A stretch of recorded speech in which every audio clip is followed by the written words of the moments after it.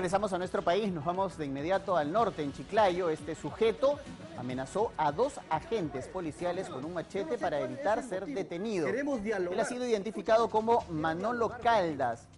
No entendía razones y continuaba retando a los policías a que se acerquen.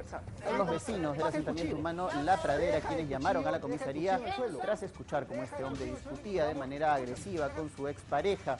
Luego de varios minutos, los agentes policiales lograron reducir al sujeto y trasladarlo a la comisaría. Increíblemente, la madre de sus hijos, que ya tenía medidas de protección, decidió no denunciarlo. Sin embargo, Caldas, Caldas Vera, así estos son los dos apellidos de este sujeto, fue denunciado por resistencia a la autoridad y ahora deberá responder por sus actos.